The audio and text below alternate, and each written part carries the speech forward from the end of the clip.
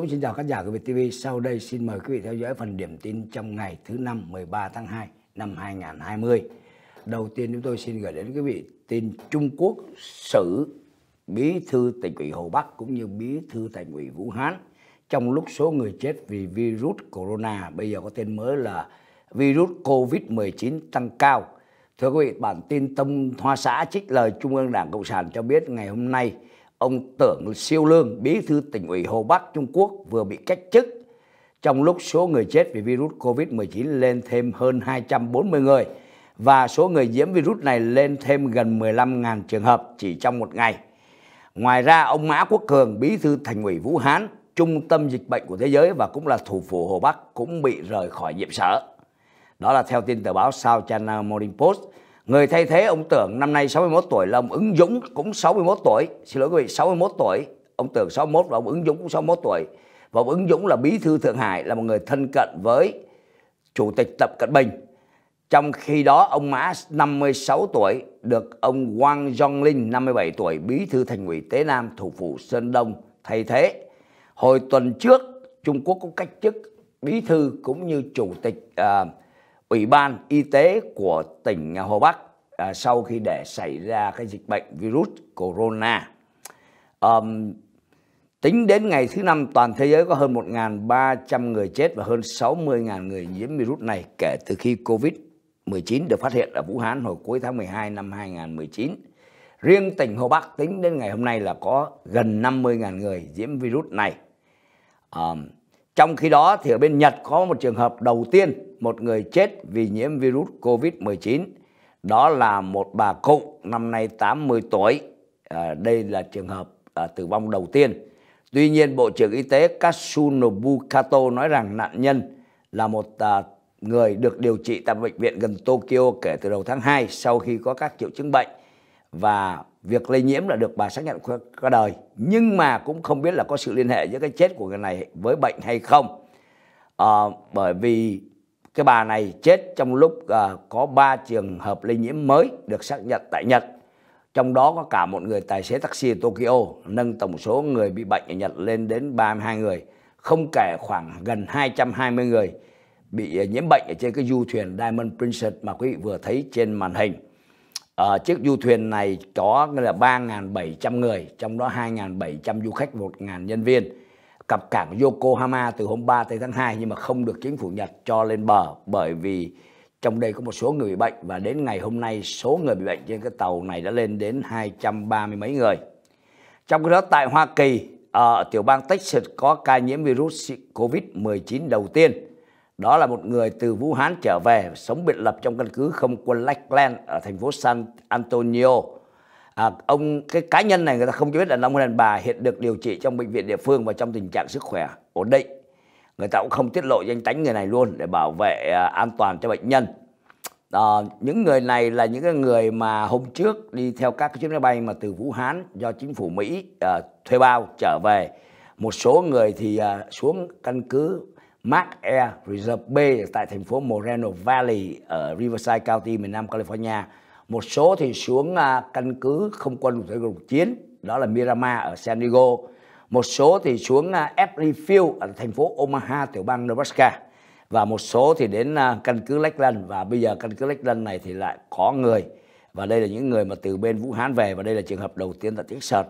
À, cách đây uh, hai ngày và cũng ngày hôm qua thì ở San Diego có hai trường hợp. Ngày cách đây một ngày thì có một trường hợp ngày hôm qua có thêm một trường hợp nữa.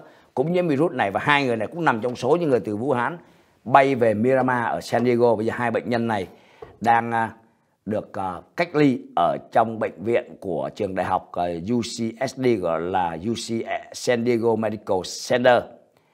À, về tình trạng bệnh dịch à, virus COVID-19 trên thế giới hiện nay thì thưa quý vị, sáng hôm nay con số người chết lên đến tổng cộng 1.357 người và số người bị bệnh là trên hơn 60.000 người so với ngày hôm qua thì như vậy là số người chết tăng lên 245 người trong khi số người bị nhiễm bệnh tăng thêm khoảng 15.000 người. Tại sao con số nhảy vọt như thế này? Cái số người chết thì có lẽ là do nó ủ bệnh những ngày trước thành ra số Tết nó tăng lên.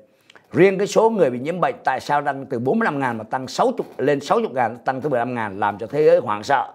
bảo thôi chết rồi, căn bệnh nó hoành hành dữ quá. Tuy nhiên tổ chức y tế thế giới gọi tắt là WHO. Thì có chấn an bà con, đừng có lo ngại. Và Trung Quốc cũng nói rằng đây là họ thay đổi cách tính của họ. Tức là gì? Trước đây họ chỉ tính những người nào mà bị dương tính. Có nghĩa là khi về nhà mà có triệu chứng sốt nhẹ nhẹ thì họ nghi và họ cách ly, họ coi chừng, họ không tính họ chỉ tính khi nào có kết quả dương tính. À thành ra bây giờ Trung Quốc, đặc biệt tỉnh Hồ Bắc, họ đổi lại cách tính là họ tính luôn cả những người bắt đầu mà có cái triệu chứng, mặc dù vẫn còn là âm tính. Bởi có trong nhiều trường hợp âm tính sau đó thành dương tính. Bởi vì lúc đó con vi khuẩn nó phát triển và cái sức đề kháng cơ thể nó yếu đi. Đó.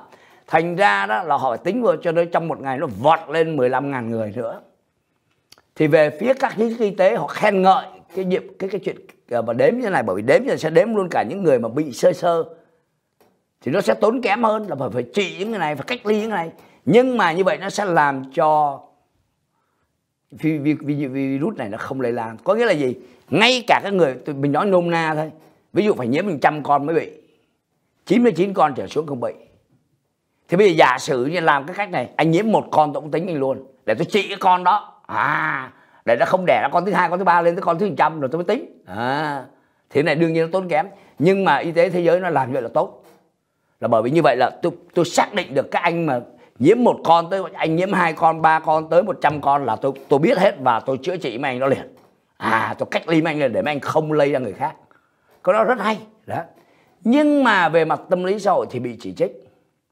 Là bởi vì đưa ra con số trong một ngày mà tăng lên tới 15 ngàn mà đặc biệt ngày hôm qua đó, cái cái ủy ban y tế của Trung Quốc thường thường tới 6 giờ chiều là nó nó cập nhật cái số người bị bệnh và bị chết. Nhưng mà ngày hôm qua không cập nhật làm cho 500 triệu người đi vào cái trang web Weibo, uh, Weibo của Trung Quốc để họ họ xem. Và hỏi cái ủy ban là tạo sao giờ này hôm nay không thấy cập nhật? Sau đó họ cập nhật tăng lên 15 ngàn. Cái này nó cũng có thể là một hành động chính trị. Nó xảy ra cùng lúc với chuyện là bí thư tỉnh ủy Hồ Bắc và bí thư thành ủy Vũ Hán bị cách chức thì đây là người ta tính toán, người ta nghi rằng ông Trung Quốc, ông ông dùng cái này một cách chính trị. Bởi vì sao? Tăng lên bà con hoảng quá, sợ quá. Nhưng mà cùng lúc đó người ta cũng hài lòng với cách chức ông bí thư tỉnh ủy và ông bí thư thành ủy. Đó là cách tính mà các nhà quan sát trong Trung Quốc họ muốn là vừa đưa cái này ra, cách tính mới để nay mai. Bây giờ 60 ngàn, ngày mai tăng lên là 62 63 ngàn, người ta không có dội chứ ngày mai mà tăng lên cái trăm ngàn nữa lên tới trăm ngàn vào tăng tới 40 ngàn thì nguy quá. Thì bây giờ có lẽ là trong cái 15 ngàn đó, thêm đó, mà nó tăng vậy là người ta bao gồm là những anh mà có một con rồi, một con virus vô rồi. Quý vị thấy ý thế đó tôi giải thích để quý vị hiểu. Thì đó là cái điều mà ta nói Trung Quốc làm. Nhưng mà nó cũng tạo ra một cái chuyện nữa. À người ta nghi ngờ. Vậy thì anh bao gồm này có thật không? Hay là trước giờ anh giấu những cái số này? Anh giấu như này, bây giờ anh bị y tế thế giới không ngày thứ hai có phái đoàn chuyên gia y tế thế giới đi vô bị vô Trung Quốc, và họ đến Vũ Hán phải chăng bây giờ anh mới tiết lộ ra? Thì cũng được đi. Nhưng mà người ta lại thắc mắc nữa, anh tiết lộ hết chưa? Nó 60 ngàn hay là có trăm ngàn anh giấu 40 ngàn cái mỗi ngày anh nhà nó 10 ngàn 10 ngàn thì sao? Đó là cái người ta cũng nghi bởi vì Trung Quốc. Ngay từ những ngày đầu cuối tháng 12 họ đã giấu cái chuyện này. Đặc biệt qua các ông bác sĩ Lý Văn Lượng ở cái tỉnh bệnh viện ở Vũ Hán. Khi ông thông báo này, các đồng nghiệp bị công an kỷ luật bảo là ông đưa thông tin sai trái. Và rồi cuối cùng ông chết và bây giờ căn bệnh này cả thế giới đều biết hết. Thì cái đó người ta cũng nghi ngờ Trung Quốc luôn. Đó đó là ba cái giả thiết mà đưa ra. Nhưng mà ờ, không phải là giả thiết, cái phương pháp đầu tiên, đó, thì người ta đưa ra y tế thế giới công nhận. Còn hai cái giả thiết sau này là nó vì cái chuyện đó. Thì đó là cái câu chuyện mà virus corona giờ có tên mới là covid 19 là như vậy. Ở tại Việt Nam chắc quý vị nghe, trong những ngày Tết vừa qua có một thượng úy công an tên là Lê Quốc Tuấn, có tên tục là Tuấn Khỉ đã đi vào sòng bài bắn chết bốn người và sau đó bắn chết một người khác để cướp xe ở tại Củ Chi. Thì sáng ngày hôm nay tin trong nước cho biết là nghi can đã bị bắn chết trong cuộc bố ráp cảnh sát tại cầu sáng xã Thân Tân Thạnh uh, Tây ở Hóc Môn, à, xin lỗi quý vị Tân Thạnh Đông ở huyện Hóc Môn. Vì tay này chống cự ông này có mang theo súng AK-47 cảnh sát cũng cho biết là họ cũng bắt một số người đã bao che ông này trong những ngày qua. Và như vậy cái chỗ ông này bị bắt và cái chỗ gây án cách nhau 10 cây số vụ này gây chấn động trong nước. Công an phải điều động tới 500 công an để đi tìm và đến nỗi cả bí thư thành ủy Sài Gòn là ông Nguyễn Thiện Nhân cũng phải lên tiếng. Thì coi như là ông này đã bị bắn chết, làm cho bà con thở phào nhẹ nhõm bởi vì ông bị coi là thành phần nguy hiểm. Đó là những tin đáng chú ý trong phần điểm tin trong ngày gửi đến cho quý vị. Cảm ơn quý vị rất nhiều. Chúng tôi xin hẹn quý vị vào chương trình tới.